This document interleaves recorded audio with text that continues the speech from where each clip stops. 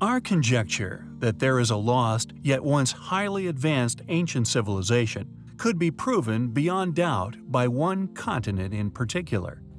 Antarctica, for many millennia, this land has been encased, perfectly preserved, laying beneath miles of ancient ice. The Piri-Reis map, something which we have discussed in the past, has long been argued to prove just that, long claimed as showing that of the landmass of Antarctica free of ice.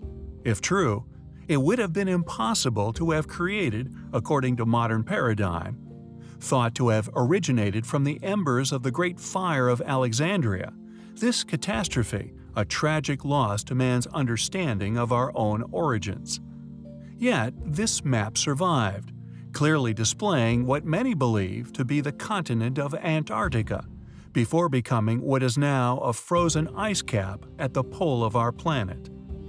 It is now an incredibly inhospitable place, one of the reasons we feel there may be intact, undisturbed ruins which may dot the land, known to be the driest place on Earth, and in addition to this compelling possibility of submerged yet highly advanced ruins, there may be many other unexplained anomalies that, due to their incredibly remote geographical placement across some of the world's now most impenetrable natural obstacles, recording some of the lowest temperatures on Earth, if proven beyond doubt to exist, would be proof of a preserved pre-Ice Age existence for advanced man. Yet due to this immense cold, and the fact that it is a largely unexplored tundra capable of killing even the most experienced of explorers, many things which rest here remain unexplored. Yet just like that of the face of the moon, one must ask the question, just what could be laying there? buried within or resting upon this giant ice sheet many miles deep.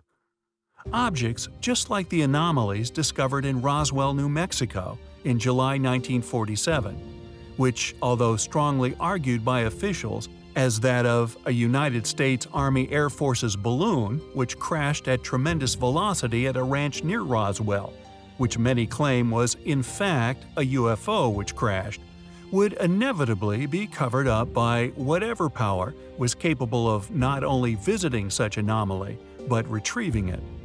Crashing into the seemingly endless tundra, and our next item of interest could behold just as controversial an origin as that of the causation for what many claim as the Roswell conspiracy, a truth so controversial only top military personnel would be privy to. This remarkable image taken by satellite clearly displays an as yet unexplored anomaly. Resting at the basin of a hilltop, it presumably crashed into, with its velocity upon impact sliding the mysterious object down the side of the mountain.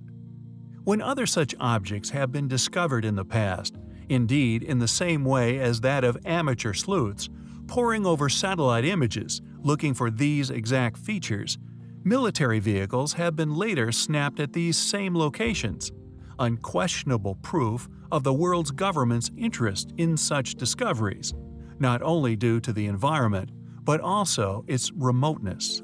Found in permanently frozen areas could mean that if such objects do indeed turn out to be that of an alien craft, could also be in a condition to be successfully reversed engineered if not repaired by man a technological explosion would inevitably occur, a lucrative operation indeed.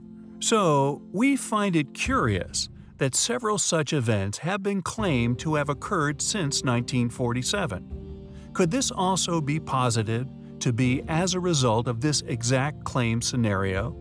Discovered, retrieved, reverse engineered, and finally either adapted for military purpose or commercial profits.